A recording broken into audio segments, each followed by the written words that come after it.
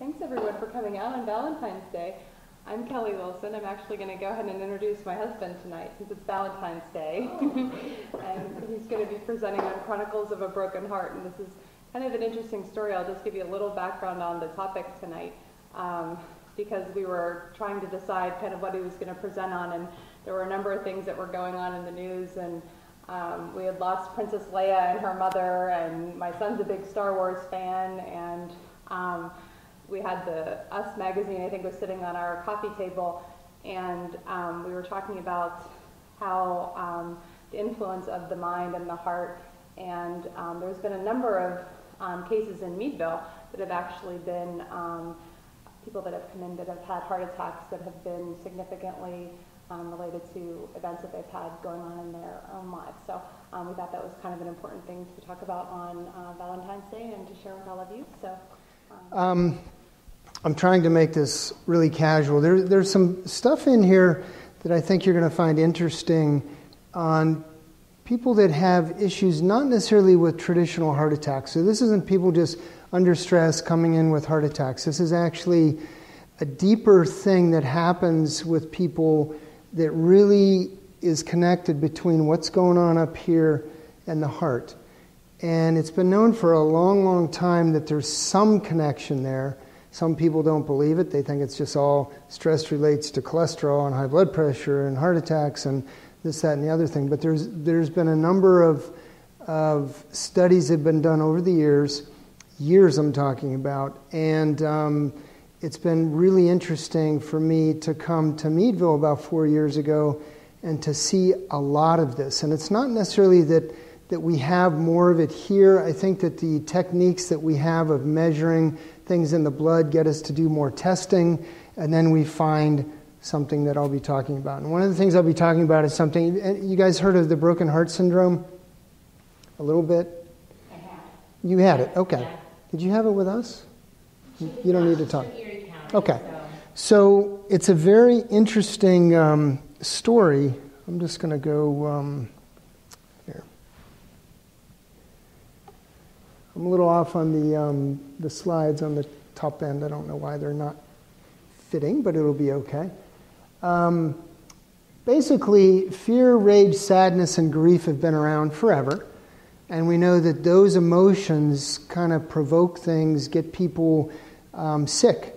Um, and if we can control them, hopefully we, we can get better. But cardiopulmonary, so the heart and the lungs, badness, has been known forever. Hippocrates, who, by the way, um, was the first to introduce aspirin into the world um, back in 400, and, it was like four, um, uh, I'm not exactly sure which of the BCs, but he lived from 460 BC down to 375 before Christ. Natural, natural forces within us are the true healers of disease. And by sort of the converse of that is that if we don't have the natural healers, we may be subject to disease. Galen, who came a lot later, 130, year 130, um, basically said that illness is caused by an imbalance of blood, phlegm, black bile, and yellow bile. But on the bottom there is the most important thing look to the nervous system as the key to natural health. And so the converse again, the nervous system can be the enemy if we don't keep it the way it should be. And so that's what I'm going to talk about a bit about um, some of the things that have come up over several years. We jump ahead not too far, but uh, Sir William Harvey, who was really one of the founders of medicine, he studied with Galileo um, back in uh, Italy long time ago. He basically was the one that decided how the heart worked. The heart was a pump, and it seems like obvious to us that's what it does. But back in the days earlier than that, people thought the blood had this inertia. Blood had something that moved itself through the body and did something, and the, and the heart was just there to sort of take care of business, move things around. But it wasn't until he actually showed that the heart didn't just squeeze, it squeezed in this spiral fashion. It's, it's really was a pump that worked. And so, but at the very bottom, I think is interesting. One of the things that Dr. Harvey believed was for every affection of the mind that is attended with either pain or pleasure, hope, or fear is the cause of agitation whose influence extends to the heart. And this is one of the first times this was put in writing where there's a connection between the mind and, and the heart. So we're here at mind body.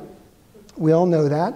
Um, but mind heart is something, obviously, I'm a cardiologist, and that's what I care about.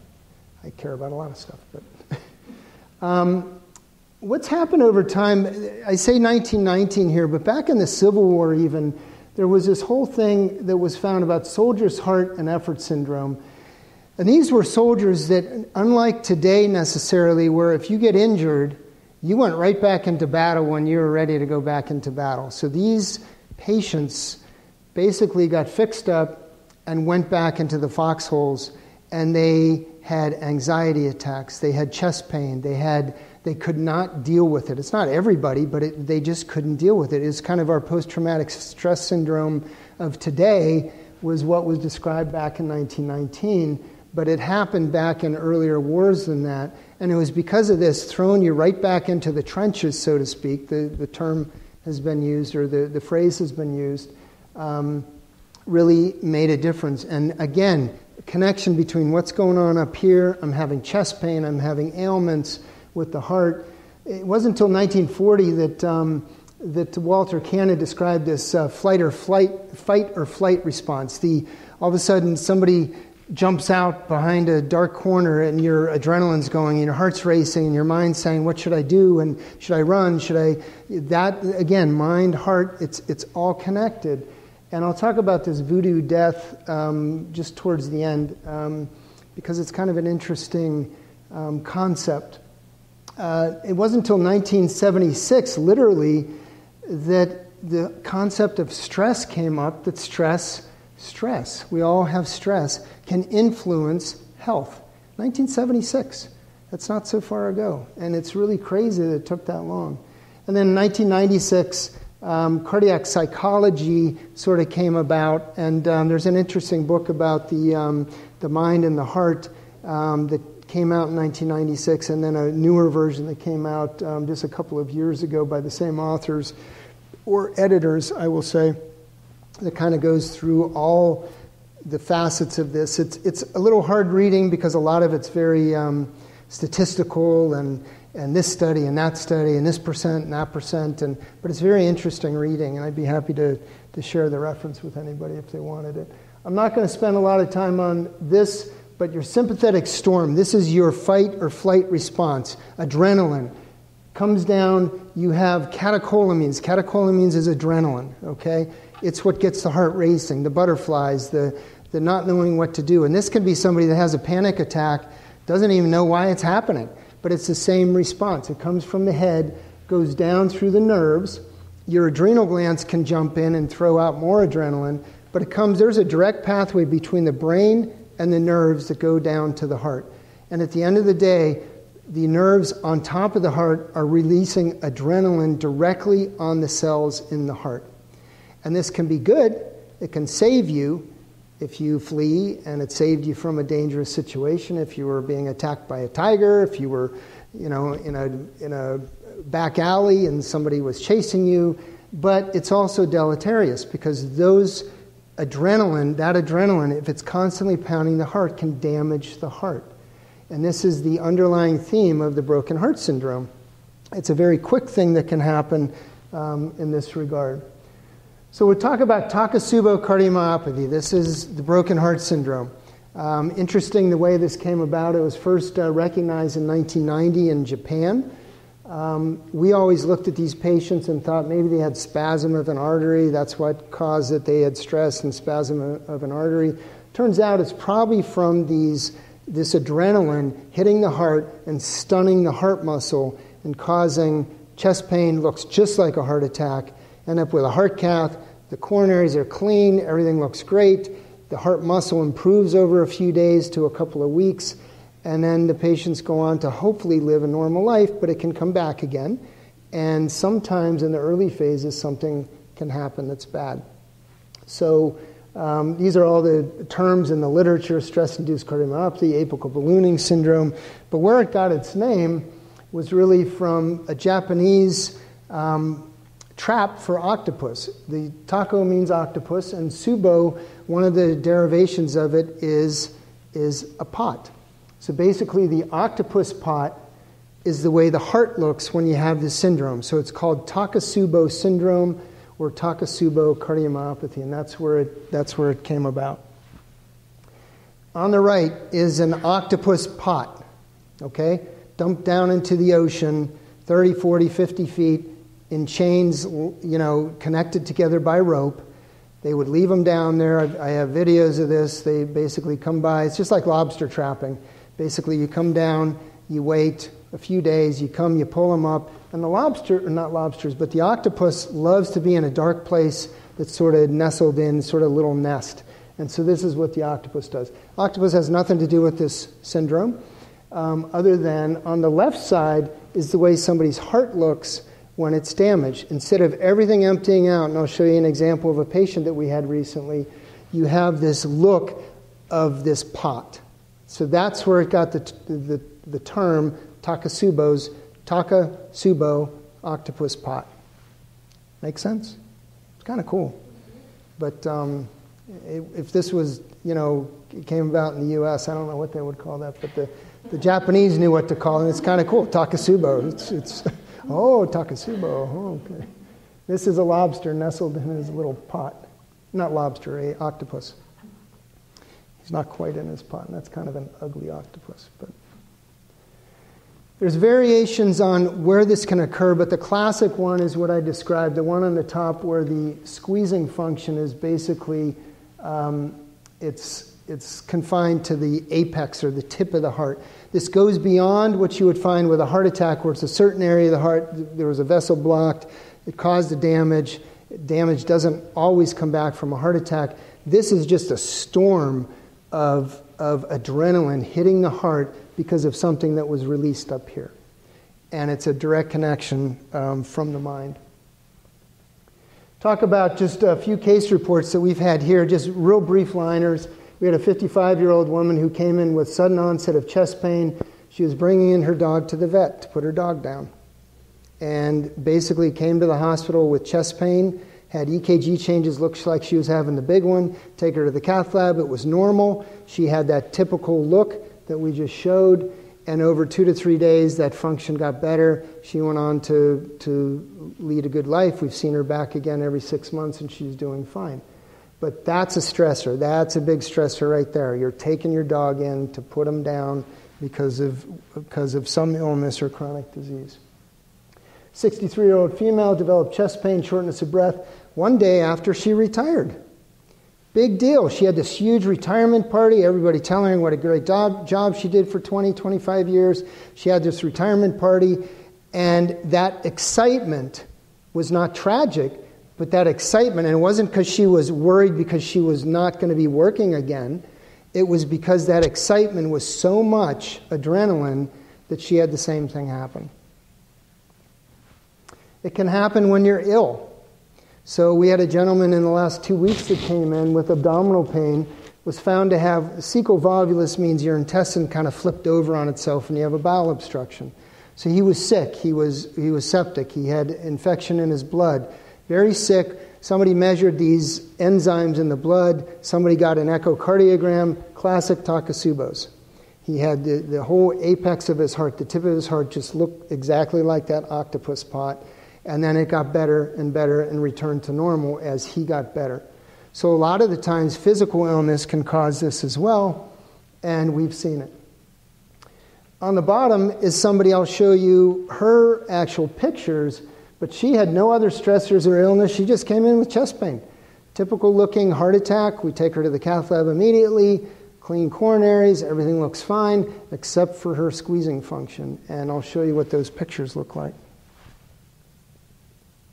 So this was her. I thought I squelched this, but um, we take pictures of her coronaries. This is the blood vessels supplying the heart muscle. Everything looks good. She has some minor lumps and bumps, nothing to cause a problem. That big one on the top, going all the way down to the tip of her heart, is the one we would have expected to be occluded and we would be opening, which we do at least once or twice a week here in Meadville, somebody having the big one.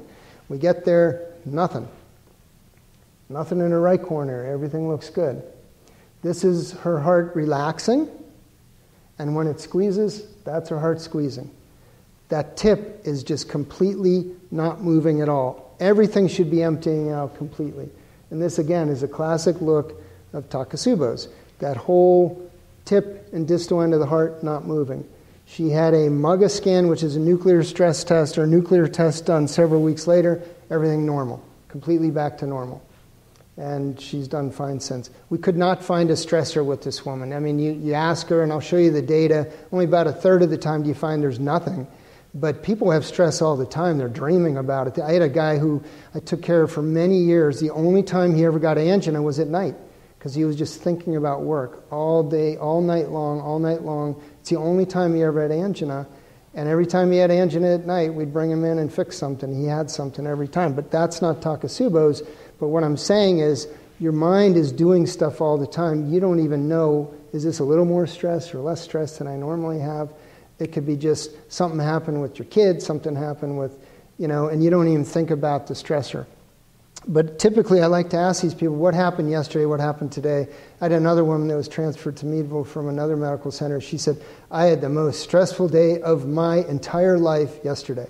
And then she proceeded to tell me about it, and she had Takotsubo's. It's just, it's classic. It's just easy. So, catecholamine excess, that's adrenaline, okay? It causes neuronal or through the nerves or bloodborne through the adrenal glands. That's what that means there. Coronary artery spasm has been felt that maybe that could be the cause, but again, you see more damage to the heart than just one blood vessel spasming, although blood vessel spasming can come from the brain too. So it could be a combination, or in certain people, it's one, one thing or the other. Um, we also see that um, you can see microvascular dysfunction where the vessels in the heart don't dilate and accept blood flow like they're supposed to. That's one of the other reasons. I'm going to skip this, but that just shows you the head to the heart. And we'll, we'll talk about this a little more. There was a huge registry done. This is the largest data that's out there 1,700 patients. The U.S. was involved with this but uh, many countries, 26 uh, different centers in Europe and US, and looked at this. Almost 90% of the patients with Takotsubo's are women. Okay, and in another study I'll show you it's 88%. So it's almost always women. It's almost always postmenopausal women, which is interesting, and we don't know why. Why is this? Is it finally that that it just happens to be the age and women put up with the stress and stress and stress and finally you just can't do it anymore. I mean there's a lot of theories about this and it may have something to do with hormones may not have something to do with hormones but this goes through and through. It's almost always women. The guy that i showed you with that cecal volvulus twisting of his intestines was the first guy with takotsubo's i've seen in a long time. So that's because it's only 10% of people are men. Men when they get it they tend to be sicker and have a higher chance of dying from it but they don't get it very often. So we don't understand this at all. So what they did in this trial was basically looked at patients with, with real heart blockage and kind of matched them up to see how they did compared to other people. What you can see here is in the blue, physical triggers like I had pneumonia, I had a COPD exacerbation, I have asthma, emphysema that kicked in, I have the flu, I got really sick with a bowel obstruction. About a third of patients that's all they're going to have. You can see emotional triggers is about a third in the red on the bottom. So my dog died, my mother died, I got promoted, I got, you know, had my retirement party. Those are physical triggers, they're very powerful things. And then you can see up top in the purple, about 8% have both of those, where they have a physical and a emotional trigger sort of at the same time. But you can see 28% have no obvious event triggering it but they have the classic findings. And your mind is powerful, and it can be doing things over time. You're not even know you're not even sure what it's doing, and maybe you've just hit the cliff. It's always at that same level, but one thing just tipped you over, and that was it. And you can't say it was my worst day ever because I always have worst days or bad days, and and today, yeah, this maybe it didn't catch you as something that you remember.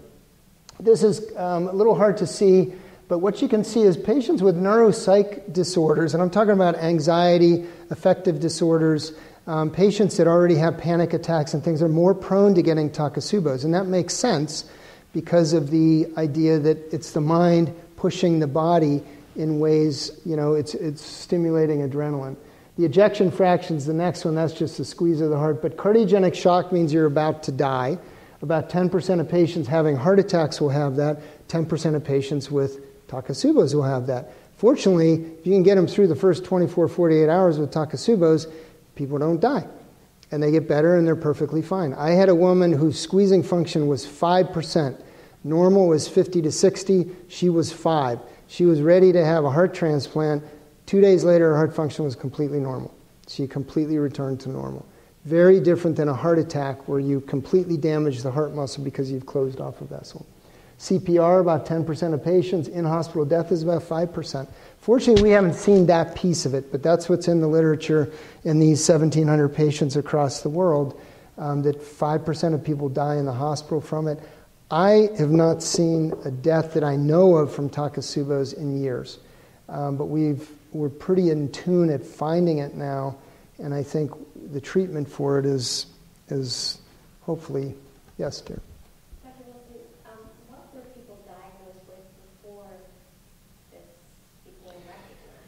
Um, spasm. Spasm, yeah. Yeah, basically that you've spasmed an artery. And spasm is one of those things, unless you see it happening in the cath lab, you just say it had to have been spasm. What else could do this? And I had a lady at Allegheny General many years ago, I cathed four days in a row because she kept having chest pain, kept having enzyme bumps, had this typical look. And I said, We are missing something. She is every single time I cath her, four days in a row, normal coronaries, nothing changed. I could have diagnosed this, but nobody knew what this was. and I didn't have 50 patients to put together and say, wow, I've seen this before. so, but, but that's what it takes sometimes is, is people talking and saying, wow, this is kind of weird. And, but that's what we always said was it was spasm. And um, doesn't seem to be the case, especially because they get better so quickly. Um, unfortunately, just look at the, um, the second curve down, which is the green. That's death, recurrent Takotsubo's, stroke or TIA, myocardial infarctions, the next one down. There is a risk over years of having events, and we don't know if this is related to recurrent Takotsubo's, if this is just because you have other issues going on. And I'm not trying to throw a wet blanket on your life at all, because the patients I've seen with Takotsubo's do very well. But this is in this registry, worldwide wide registry, and people die from all kinds of things. It's not specified how people die, but it doesn't mean it's a benign thing. You've been there, done it, had it, fine, I'm never going to get it again. It can happen again, and you have to just be in tune with the fact that if you have the same symptoms, it can happen again. You need to be on a monitor in a hospital so that if you have an arrhythmia, you can be saved from it. And two days later, you go home and you're fine. So I don't know what this represents. I'm just saying it's not as benign as what we used to think, where you got better and that was that, and you never, never had to worry about it again. The woman who wrote this big article basically shows all the puzzle pieces that don't fit anywhere. See, there's the causes, the, the things that, how it goes from the mind to the heart. There's, there's more unanswered questions than answered questions, but, but people are looking into it and you know the biggest database is 1,700 patients. This happens frequently. It's one to two percent of patients that come in with what's called an acute coronary syndrome in the world. Two percent of patients that come in with chest pain looking like a heart attack have this. We certainly have more than 1,700 patients, and it's just that this is now starting to get looked at and trying to figure out how we fix it. There's just another study, 500 and some patients, that middle one, the orange one it just looks and says if you have coronary disease, which is the green arm, those are patients with pure coronary disease. They kind of matched them up with people that had Takotsubo's and said, You're my buddy, let's see how you do over time.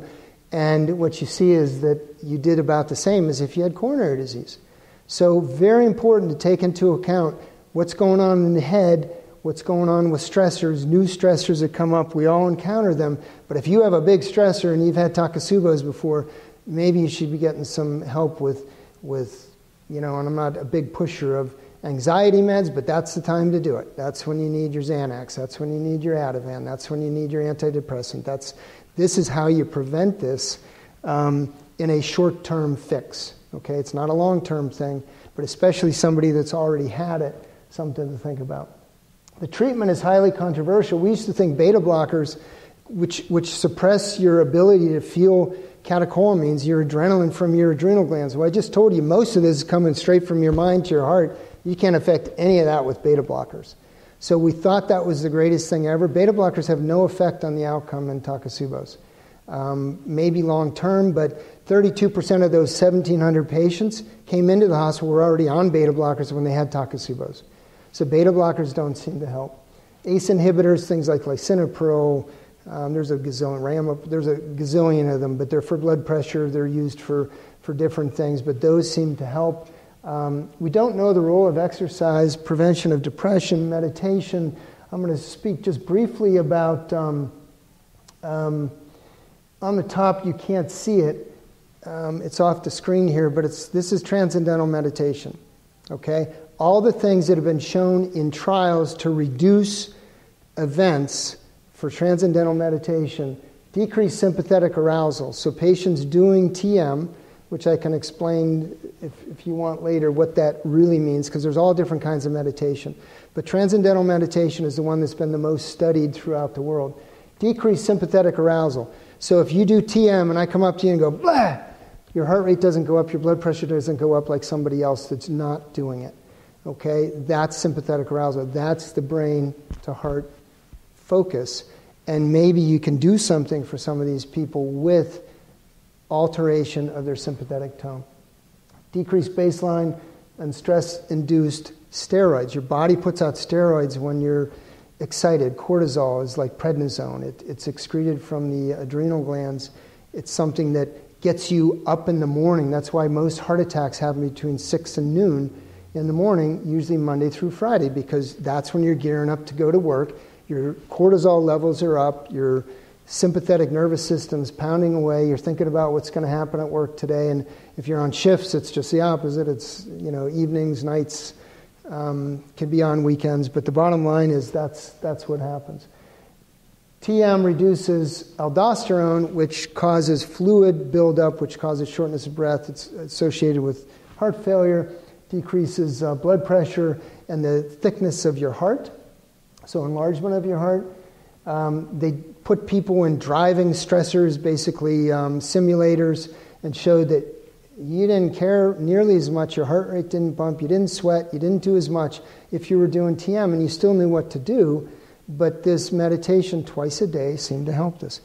This is not mainstream, and nobody's saying if you had Takotsubos, you should be doing this. If I had Takotsubos, I should be doing it. I do TM, I don't do it like I should be doing it. I used to do it a lot, and it takes time.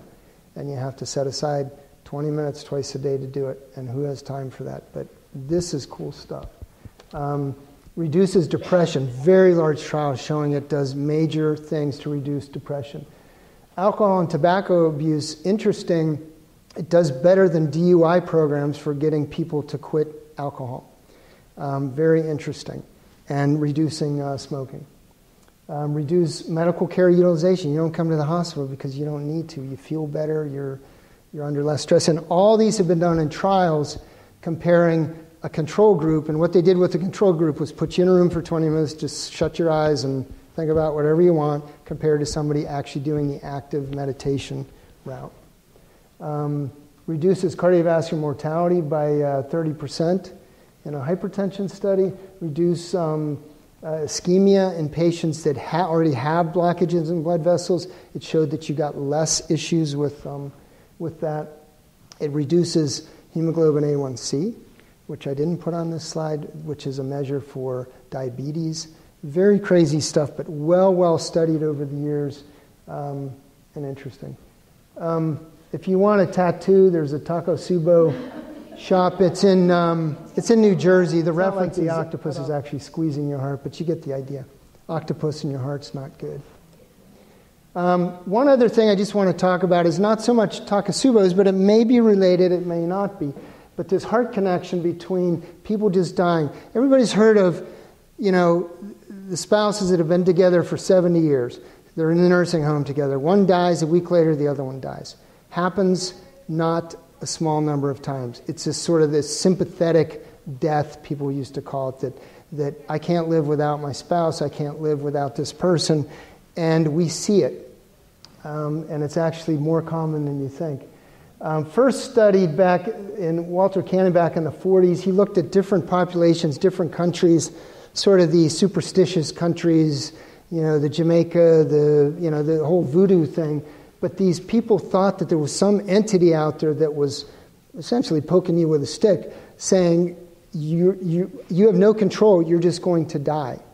And so, interestingly, that's what happened. And, and there's been several studies looking at this where people felt, and again, it was anxiety. It was anxiety, an overwhelming anxiety that people could not tolerate, thinking there was some outside force that was going to kill them. And they con- conceived of this powerful external force um, that you could do nothing about. And that's, that's voodoo. That's, you know, sticking the doll, somebody sticking the doll, and, and you're feeling the pain from it, that sort of thing. So that's where that came about. But over the years, people realized this is actually real. He said this was a naive society, superstitious societies, all that stuff. Not true. It's, it's everywhere. And when it's been studied everywhere, it's been seen. We had a woman, a very sweet woman, who came into the hospital in the last three weeks, I think, um, without cardiac history, had three days worth of um, chest pain, basically got in the ambulance, finally decided to come in. She had just been moved up here from I want to say Chambersburg or somewhere. Her husband died a few months ago. And um, her daughter moved her up here to take care of her because she couldn't deal with it, couldn't take care of herself. So she didn't even have a PCP here yet. She had just moved up here and um, had this situation. So she had CPR in the ambulance. She did tell the EMS that she was going to die tonight. And I can tell you uh, the number of patients that I've seen that tell you I'm going to die tonight, most of them die tonight no matter what you do to them. And you think that you're, I can tell you right now, we did a heart cath on this woman. We fixed two of her arteries that were 99%, 95, 99% blocked. She got out of cardiogenic shock. Her rhythm was back. We were fist bumping and high five, and I said, She ain't going to die tonight. And you know what she did? She went and died. She basically went back to the ICU, told the nurse she never should have allowed us to do this. And if she had thought it through, she wanted to be with her husband. And 15 minutes later, her heart rate dropped precipitously. She went completely flatline and she could not be brought back. People just die. They give up. They give up. And this is powerful to help that happen. So I believe it. I've seen it many times. This one bothers me. I'm a physician. I thought we did everything we could. There's nothing we could do. We did everything we could, and I'm not God. You do everything you can do. And she, there was no inclination that anything else was going on with her. So there was a gentleman, um, George Engel, that looked at 160 cases of sudden death that were otherwise just completely unexplained. And this was what was common to all of them. So, impact of a death or collapse of a close person, they end up in the hospital, they're on a ventilator, all of a sudden you get sick and die. Um, acute grief, a threat of a loss of a close person, mourning, or an anniversary. So it could be it could be fun. It can be an anniversary of a death. It can be an anniversary of of, of excitement.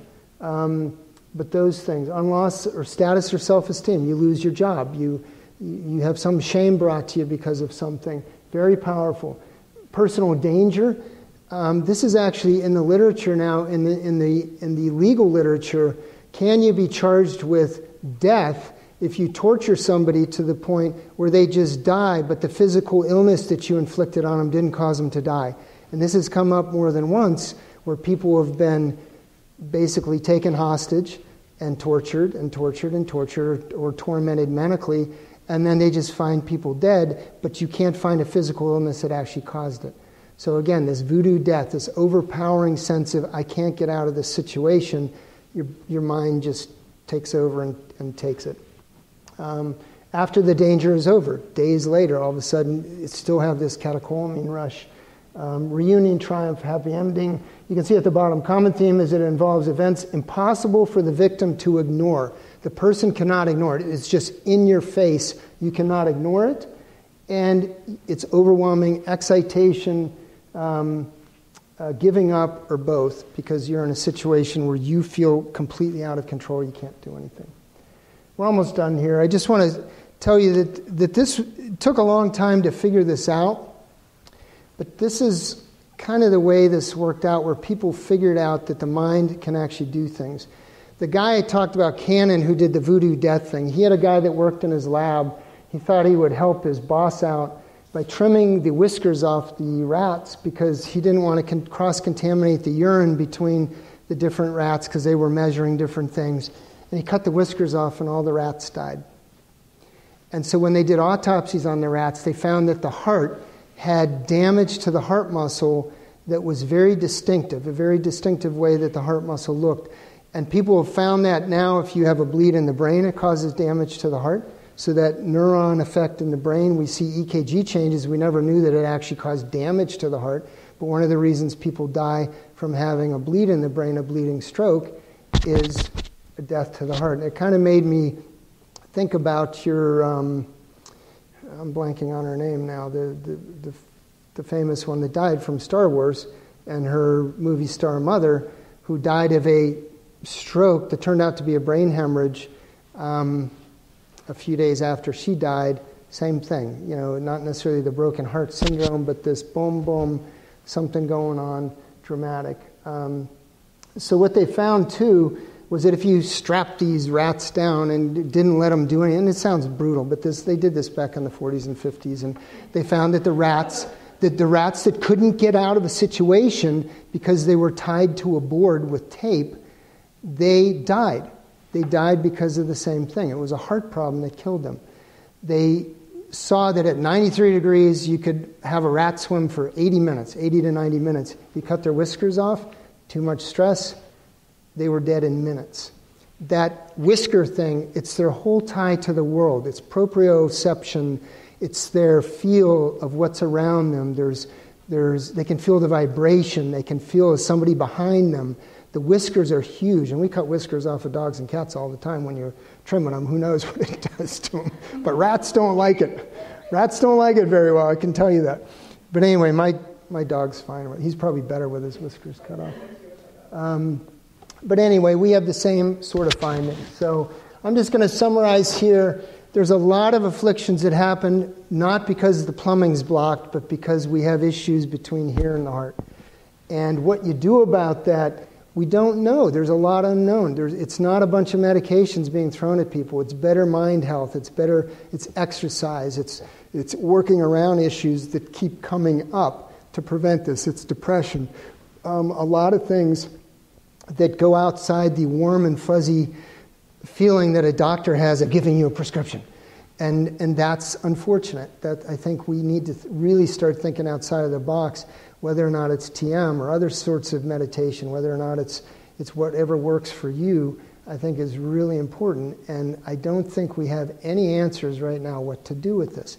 It's a real entity, it's being studied, we see it at least monthly here, um, if not more. My, my wife, is, she, she was like, you keep talking about Takotsubo. You should be calling the CDC and the Framingham Health, you know, study and this and that. I'm like, I don't know who to call because we don't know who to call. Who, who do you even talk to about this? It, it's out there and we don't, it's not like putting a stent in and I fixed your blood vessel and let's check your cholesterol and put you on something for that and it's all fine. This is real stuff. And so um, I'll leave it at that. If you guys have any questions, it doesn't even have to do with this, but um, I don't have all the answers, but I have a lot of um, patients I've seen with it. And I think looking for alternatives to treatment is going to be just a big thing that we're going to have to start individualizing over time. So, any questions? It's not all gloom and doom. People do great from from this. It's just if you have the sensation that something's coming back again, it can come back. So you have to keep that in mind. Um, Is there any sort of connection between other types of heart problems and Takotsubo the reason I ask is because in our experience, we had a stent placed about a year before due to a blockage, mm-hmm. and then ended up in the um, emergency room because they thought the stent was clogged, only to be told that it was yeah, so so coronary disease is common. Takotsubo is not so common, but more common probably than we realize. In that 1,700 patient population, um, about 13, I think it was 13.5%, 14% of patients had coronary disease as well. And it was not in enough of a distribution to say that's what caused the weakness of the heart muscle. And that's what they would have done. Even if the stent had narrowed, um, it probably wasn't enough to cause everything. And most of the time, stents don't re-narrow. But, but I don't know if there's a connection or not.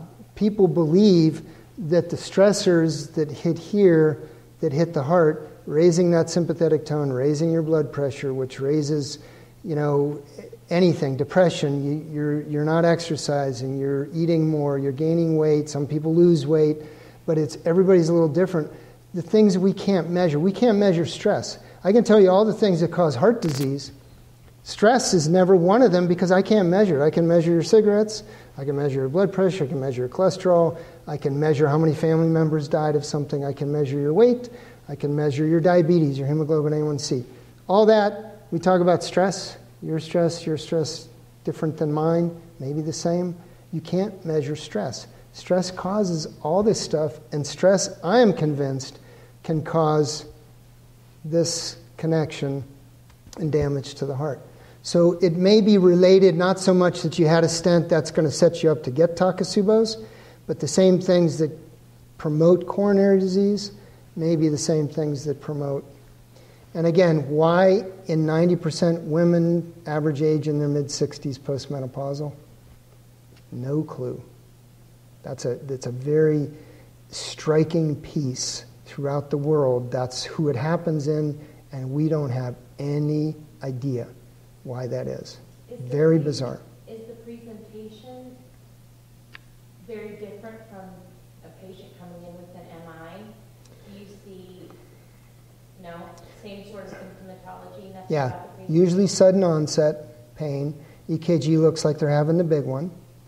Um, the bump in the enzymes, the damaged part of the heart is much smaller than having a heart attack. But the initial enzymes that you measure in the ER are enough to get your attention to say you're going right to the cath lab. Most patients we found with this have that, but, but a couple of the ones that I told you about did not have the classic EKG findings. And it makes me think that we've been missing this in a lot of people over the years. We used to measure something called CPK, it's a muscle enzyme, not very sensitive. Now that we have something called troponin, you can sneeze too hard and your troponin goes up. I'm just saying it, it goes up for lots of different reasons. It's from the heart. But because everybody gets a troponin drawn at the time they hit the ER when they're sick, we get called in did they have a heart attack, not a heart attack? And we might just say, this is a what's called a type 2 heart attack, meaning it's from a stressor from something else. It's not really from a blockage. Do a stress test as an outpatient. Stress test is normal. Of course, it's normal. There's no blockage there. But if we had gotten the echo the sound wave test right at that moment, we might see Takotsubo's. It's going to get better in two days, and we don't see it by the time we get asked to see them. That's why I think we see more and more of it. It's not because it's more common now, it's we're seeing it, we're recognizing it. But the, the, it presents in, in the fulminant form just like the big one. And you do the cath, and you're like, Am I missing something? You're taking extra pictures. I'm like, There's got to be something here I'm, I'm missing. I did that for years, and now it's like, wait till we do the squeeze gram, you know, the ventricular gram. I said, this is a Takotsubos, and boom, you see it, and you know what you're dealing with. And I'm not calling it spasm anymore. 20 years ago, we'd call it spasm. Do the symptoms resolve over the yeah. Of? Yeah. And, and, and, is it because the person's reassured that they're not having the big one? Because and, you obviously haven't taken away the stress that that woman has cleared off. Yeah, and, and I think I think our minds you know, there are certain points in your life where you have that moment where there is so much stress there that that's your surge of catecholamines, and maybe you don't have enough to do it again for a period of time. The nerves have to rebuild that, that supply of, of adrenaline. Um, it, it may be that you just hit a peak point where that was just enough to do it, and now there is some reassurance. I'm feeling better, my chest pain's gone um, I have now family around that I didn't have around helping me grieve for my dog. I mean, there's a lot of different scenarios, but it, but it is interesting. Your point's a good one. I don't know. I don't know why people just get better because you haven't fixed the stressor. And that's why the other things are so important to make sure that it's not an ongoing thing. Grieving, yes, the initial insult of somebody dying to the body, your body, is, is very intense. It lasts forever, lasts for weeks, months, anniversaries, but it, it lessens considerably, especially if you have family support and now you're thinking it through and he didn't suffer and she didn't suffer and you're sort of rationalizing what's going on. So I think our minds help do that, but it is bizarre how quickly it gets better. I, I, within a week to two weeks, that heart muscle is completely normal again. Very bizarre. And as quickly as it can go like that in a few hours, to just that heart can't squeeze at all and you can die from an arrhythmia, a week later it's completely normal again. And it took till 1990 to figure this out. Pretty bizarre. Those Japanese and their octopus pots. so, anyway, I don't mean to talk about broken hearts all night.